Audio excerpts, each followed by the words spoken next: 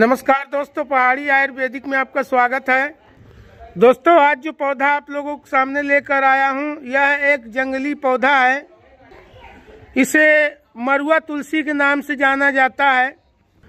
यह तुलसी प्रजाति का ही एक पौधा है। बहुत से लोग इसे सफ़ेद दौना के नाम से जानते हैं। इसके दो प्रजाति होते हैं, एक होता है काला दौना और एक होता है या सफ़ेद दौना। दोस्तों, यह पौधा एक बहुत ही अच्छा आयुर्वेदिक औषधि है, जड़ी बूटी है। इसके अंदर बहुत सारे आयुर्वेदिक औषधि गुण छुपे हैं। आज मैं आपको इसी पौधे के फ़ायदे के बारे में बताऊँगा कि इस पौधे का कौन सा हिस्सा किस रोग में उपयोग होता है। लेकिन फ़ायदे जानने से पहले दोस्तों, इस पौधे को देख लीजिए, पहचान लीजिए। यह पौधा मैदान भूमि में बरसात के बाद अपने आप पैदा होता है। इसके पत्ते मिर्च के पत्तों के जैसे दिखाई देते हैं और इसके जो फूल हैं, वह तुलसी के फूल की तरह दिखाई देते हैं और इसके अंदर खुशबू भी तुलसी के जैसा ही होता है। यह पौधा करीबन दो फुट से लेकर तीन फुट तक बड़ा से बड़ा होता है। पूरे भारतवर्ष में आपको घास फूस की तरह उगा हुआ देखने के लिए मिल जाएगा। और हाँ दोस्तों, इस पौधे में लगने वाला बीज बहुत ही शक्तिवर्धक बीज होता है और उसे आप खाए भी होंगे, कई बार फलूदा वाले डाल कर देते हैं, उसे सब्जा कहते हैं। तो दोस्तों, इस पौधे का सब्जा नाम भी है। और बहुत से लोग इस पौधे को तूत मलंगा भी कहते हैं। और ग्रामीण क्षेत्र में रहने वाले जंगल वासी वन तुलसी के नाम से जानते हैं। तो दोस्तों, इस तरह से यह पौधा अलग अलग भाषाओं में एक प्रसिद्ध पौधा है। तो आओ चलो, अब हम इसके फायदों के बारे में जाने कि कौन सा हिस्सा किस रोग में उपयोग करना है। तो देखिए दोस्तों, सबसे पहला फ़ायदा तो मैं आपको यह बताता हूँ अगर किसी के सर में दर्द होता हो तो मात्र इसके पत्तों को नाक द्वारा श्वासन करने से, सूंघने से सर का दर्द ठीक हो जाता है, वो भी तुरंत तुरंत। इतना फ़ायदेमंद है दोस्तों इस पौधे से निकलने वाला महक। और हाँ दोस्तों, अगर किसी को फोड़ा फुंसी है, घाव है तो आप इसके पत्तों को पीस कर घाव फोड़ा फुंसी के ऊपर लगाते हैं तो वह फोड़ा फुंसी ठीक हो जाता है।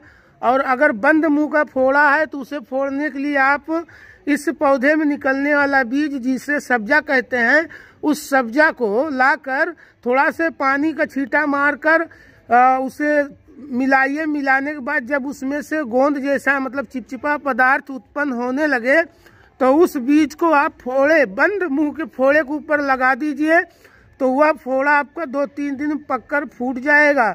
इतना फ़ायदेमंद होता है दोस्तों यह सब्जा, यानी इसका बीज। फोड़ा को फोड़ने के लिए। और फिर उसके बाद आप इसके पत्तों को पीस कर उसका रस निकाल कर घी के घी के साथ मिलाकर, और करीबन एक चम्मच घी हो और एक चम्मच इसका रस हो, और करीबन दो तीन चुटकी हल्दी हो तो मलहम जैसा बनाकर फोड़े के ऊपर लगाने से वह फोड़ा ठीक हो जाता है। दोस्तों, इसके अंदर जो बीज निकलता है, जिसे सब्जा कहते हैं, उसका तासीर बहुत ही ठंडा होता है इसलिए अगर किसी के किडनी में सूजन हो, लीवर में सूजन हो, या पाचन शक्ति कमज़ोर हो, पेट विकार हो, किसी भी प्रकार का पेट में बीमारी हो, पेट के अंदर अल्सर हो तो आप इसमें से निकलने वाला बीज जिसे सब्जा कहते हैं, मार्केट में मिलता है, आप सब्जा बोलकर खरीद सकते हैं। उस बीज को आप रात में एक गिलास पानी में एक चम्मच बीज डालकर छोड़ दीजिए। सुबह उस बीज में मिश्री या शहद मिलाकर शरबत बनाकर पीजिए। तो मैंने पेट से समस्त जितने भी बीमारी आपको बताए, सभी बीमारी में फ़ायदेमंद साबित होगा। और हाँ दोस्तों, अगर किसी को पी लिया है तो आप एक गिलास सब्जा का जूस, सब्जा का रस बनाइए और करीबन उसमें तो तीस एम एल सौंप का रस मिलाकर, शक्कर, चीनी या शहद मिलाकर सुबह सुबह बासी मुँह खाली पेट सेवन करते हैं। तो पीलिया रोग भी ठीक होता है। दोस्तों, इसमें से निकलने वाला बीज जिसे सब्जा कहते हैं, उसका तासीर ठंडा होता है, मैंने आपको पहले भी बताया, फिर बता रहा हूँ। अगर कोई पेशेंट है, धातु छीरता का मतलब किसी धात गिरता है तो वह भी इसके बीज का सेवन करे सुबह सुबह खाली पेट, एक चम्मच इसका बीज और एक चम्मच मिश्री मिलाकर सेवन करे और एक गिलास पानी पिए तो दो तीन दिन के अंदर, चार दिन के अंदर उसका धातु रोग ठीक होने लगेगा। क्योंकि दोस्तों, धातु रोग जो है, पेट से संबंधित बीमारियों की वजह से पैदा होता है। जैसे किसी को कब्ज हो जाए तो कब्ज में लेटरिन करते समय प्रेशर, प्रेस देना पड़ता है, प्रेशर लगता है, ताकत लगता है तो उस दरमियान किसी किसी को लैट्रिन के साथ साथ में सीसन नली से धात गिरने लगता है। तो ऐसे रोगियों के लिए यह सब्जा बहुत ही फ़ायदेमंद है। दोस्तों, कब्ज रोगी भी सब्जा का शरबत बनाकर सेवन करे, उसे भी फ़ायदा होगा।